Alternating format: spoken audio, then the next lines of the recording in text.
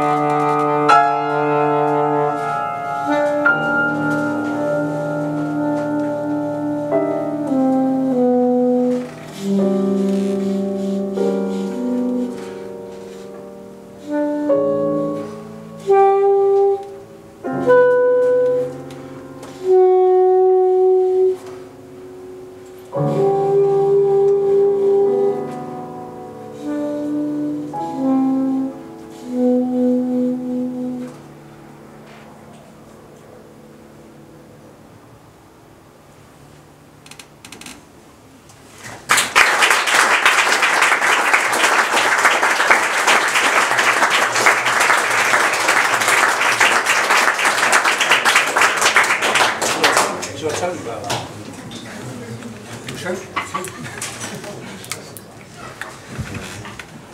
Actually, the, the uh, parameter for that, or the one word, was chorale. I don't really know what that is.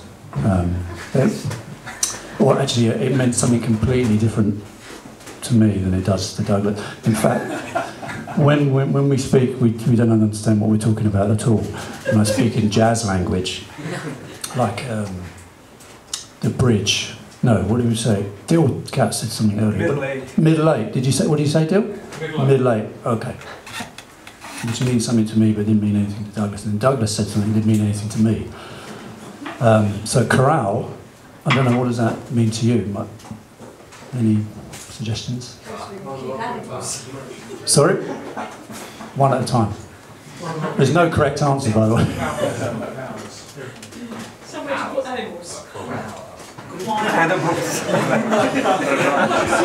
Actually, what, what Douglas said it meant was to play at the same time. Is that right? Sort of.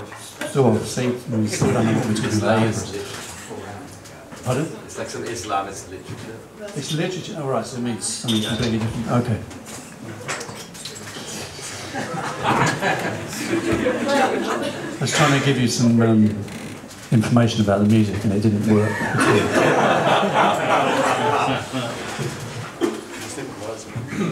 all. Okay. Or should we do a fugue? I don't really know what it is. We could take one by Shostakovich. Okay.